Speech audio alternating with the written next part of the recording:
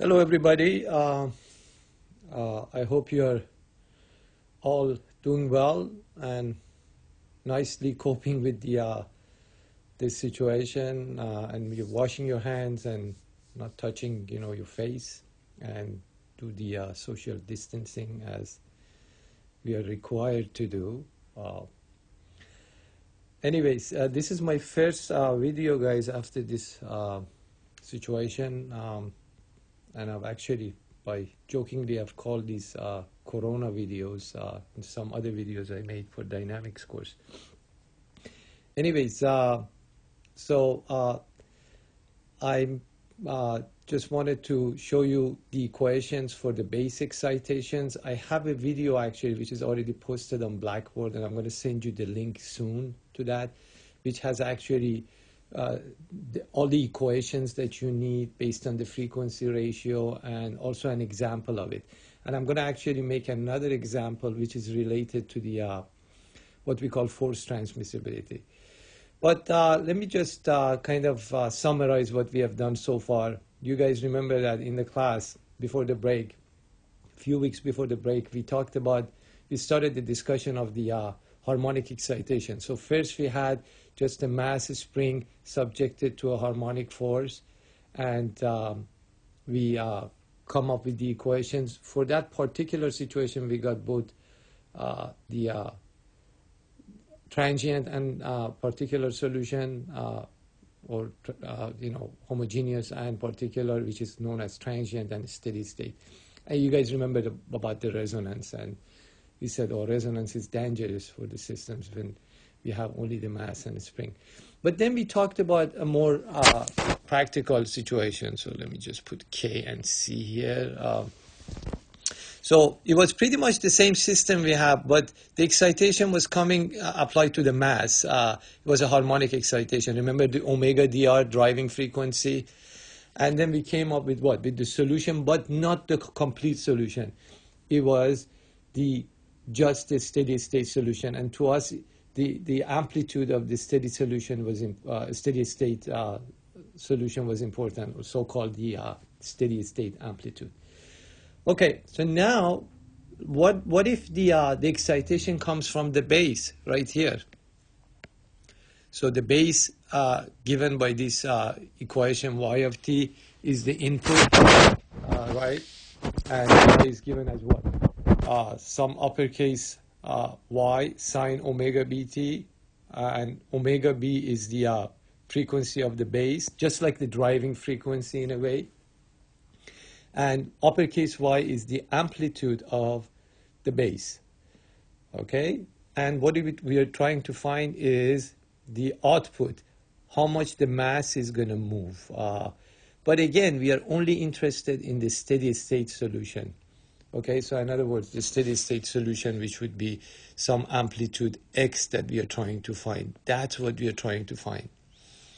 Okay, so just to give you an idea, in the in the class I mentioned that the base excitation is a good example is what if you know your a car is driving on a bumpy road, but the bumpy road is like a sine wave, right?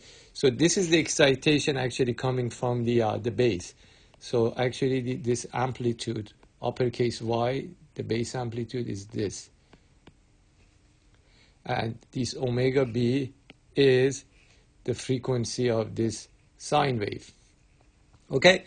So the excitation coming from the base. So what I did here, I just drew a free body diagram of the mass, and I just showed you the free body diagram of the base, but that's not really important in our, um, you know, equations.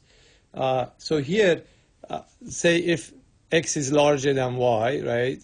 Uh, in that case, uh, the, the, the force of the spring is going to be k times x minus y, the relative uh, position. And then similarly, the force of the damper will oppose that, um, you know, mo motion and would be downward and would be c times the relative velocity x dot minus y dot.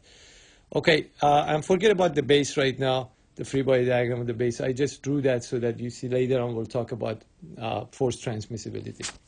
Anyways, uh, F equal ma, so you see that these two forces are negative right here, right, equal mx double dot, mass times acceleration of the, uh, the mass. So I kept all the x's on this side. On the left side, I took all the y's to the other side. Uh, then I actually said, oh, what is y dot? See, we need y dot here. What is y dot?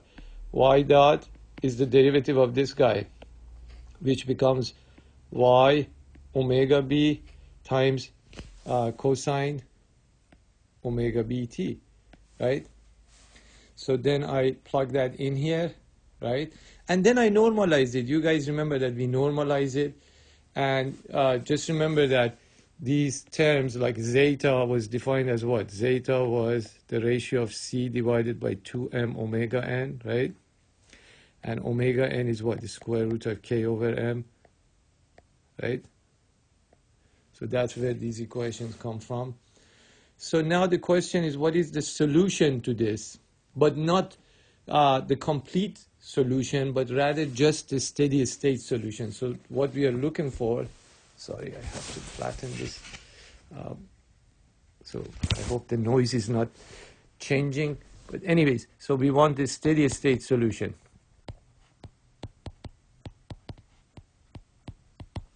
And the steady state solution would be of the form eventually of some x of t, some amplitude x, which I was talking about here, times some uh, sine or cosine. Since the input was a sine wave, we'll go with the sine. Omega bt minus some other angle, I don't know, beta, since we have used phi so many times. Okay, so in the next video, which I'm going to um, uh, give you the link, hopefully in an email soon, you will see how we can find x. And then we're going to talk about what uh, is known as the, uh, the ratio of the amplitude of output to input. And that's known as the uh, displacement transmissibility or magnification factor. So stay tuned, and um, I send you the link, and hopefully I'm going to actually send you the uh, the solution to the uh, second exam uh, as an email, so you see you already have seen your grade, I'm sure by now, but uh, you'll see um, how you know if you made any mistake, what was those mistakes. So guys, stay uh, safe and uh, stay warm. It's snowing right now a little bit. And uh, I'll come back with another video. All right. Thanks for watching and listening.